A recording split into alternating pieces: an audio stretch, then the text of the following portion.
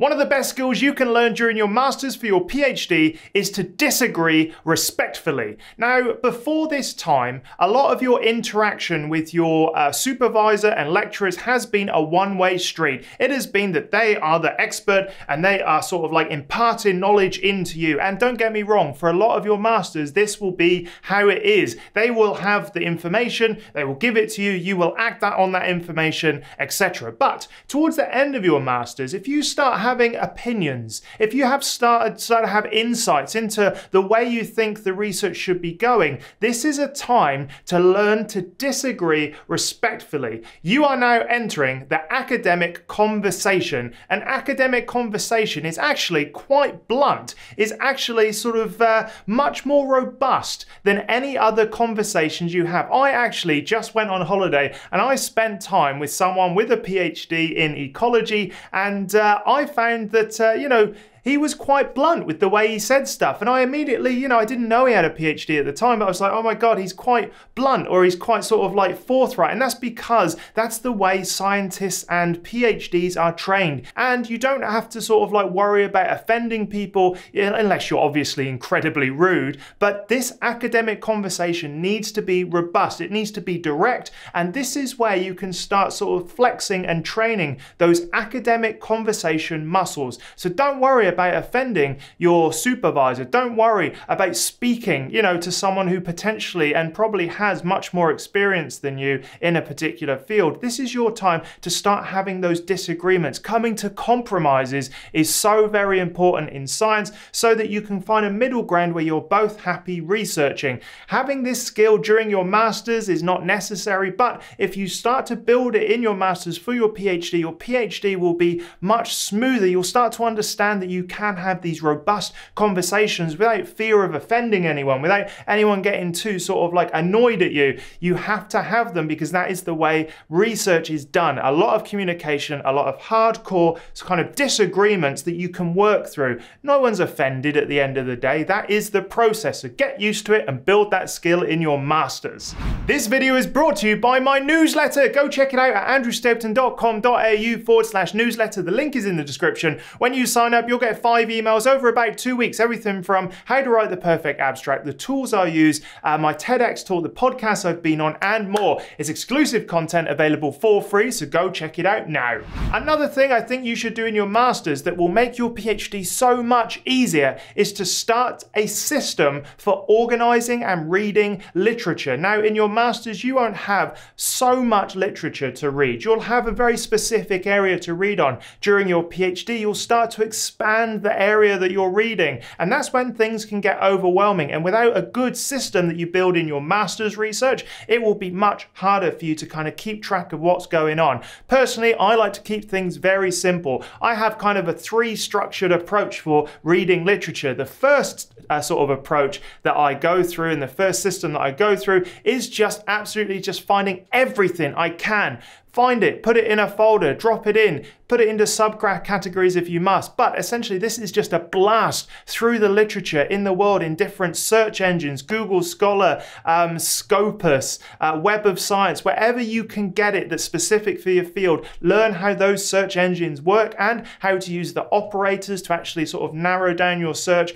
to the things you're actually interested. There are plenty of other tools online as well that I've talked about in my other video, so go check it out here. Um, that includes uh, Litmaps, research rabbit, connected papers, all of that is fantastic for helping you just find that stuff. Then after that, the second bucket, the second thing that I do is I start to go through with a critical eye. I'm not planning on reading all of the paper at this point. I read the abstract only and maybe a little bit if I'm interested. But here I go, not interesting, not interesting. Ah, this one's interesting. And I split them off into interesting papers and not interesting papers. And the third thing I do then is I take the interesting papers and I read them, I map them out, I put them in my, um, my uh, research manager, which I use Mendeley.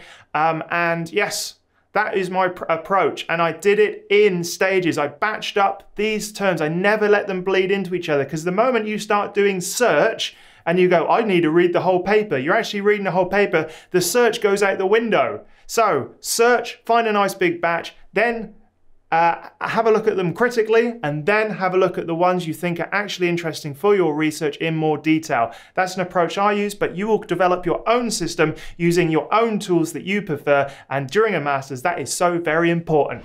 Another really important skill to learn during your master's is to focus on your research and stop comparing yourself to other people. It's such a, a sort of demotivator when all of a sudden you're like, oh, I've only achieved this in mine. All these other people are doing much better things. That is not going to help you move forward with your research, particularly when you graduate and you decide to do a PhD. Now, understanding that your research kind of uh, journey is your own and you should only be trying to make yourself better based on what you were doing last week, last month. You know, have you improved on the research that you did last week? Are you always taking tiny little steps towards your end goal of getting that sort of like research result or writing that thesis? Are you producing tables and graphs that could go into your thesis or your peer reviewed papers?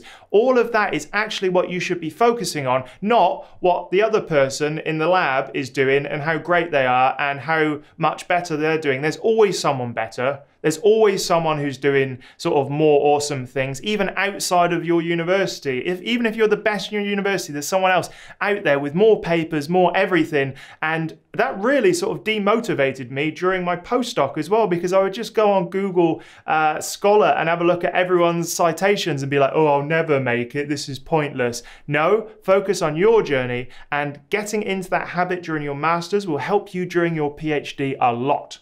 Learning to write academically is very, very tough. It's not a natural way to communicate for humans. It is dense, it is technical, it is long, it is very large paragraphs of just dense information, and it does take a little bit of time to get used to writing exactly in this way. One thing you can do during your master's is start to ask PhD students in the lab or your supervisor if you can be part of the paper writing process. Can you have a look at drafts? Maybe even if you're only picking up spelling errors at this point, I think any sort of exposure you can get to the process of writing academic papers and um, the, uh, the kind of changes that need to be made to get it past peer review is so very important. Now, I've got my ebook, the Ultimate Academic Writing Toolkit, that talks you through all of that. Go check it out. I'll put a link here. But essentially, it comes down to exposure to academic writing, learning what the standard of writing is for peer review, learning how rigorous it needs to be, learning that it's not actually easy to read, but it should be dense, full of information. It should be absolutely clear, concise. Um, and all of that means that you do have to develop a new style of writing and exposing yourself as early as possible to that during your master's will definitely help you during your PhD. You'll hit, be able to hit the ground running. Lastly, I would say presentation skills are something that you should be building during your master's that will really help your PhD. Now, I'm not talking about formal presentations necessarily, but presenting to your supervisor, to your group, to your faculty. All of that is so very important. Getting used to standing up in front of people, delivering information, and sort of like silencing that that that, that voice in your head that's saying, "Oh, you're not good enough. Oh my God, like uh, they're going to think you're stupid. What if all this research is actually rubbish?" It is your story, your presentation. You lead people through it the way you want. They are sort of like on it on the journey journey with you through this presentation for the first time. So they're just happy to go along. Once you've done a few presentations, you realize that they're not scary, that uh, everyone's in the same boat. And even the most sort of like uh, prestigious of academics get a little bit scared during big presentations in front of large audiences. So getting over that kind of public speaking hurdle is so important. Start small. Start presenting to your supervisor in group meetings. Start presenting to your faculty and slowly grow up that confidence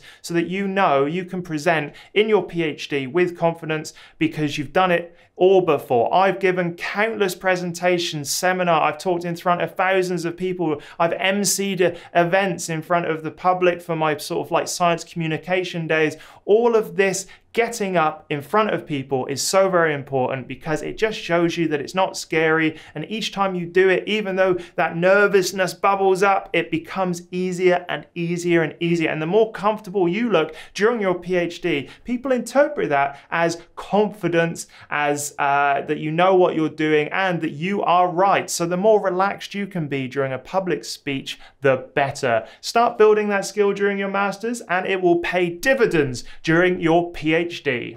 So there we have it. There's everything you need to know about the skills you need to build during your master's for your PhD. Hit the ground running by learning these skills and practicing these skills during your master's and you'll be well ahead of everyone else who hasn't focused on those skills in particular. Let me know in the comments what you would add and also go check out academiainsider.com. That's my project where I've got my ebooks, the Ultimate Academic Writing Toolkit, as well as the PhD Survival Guide, and I'll see you in the next video.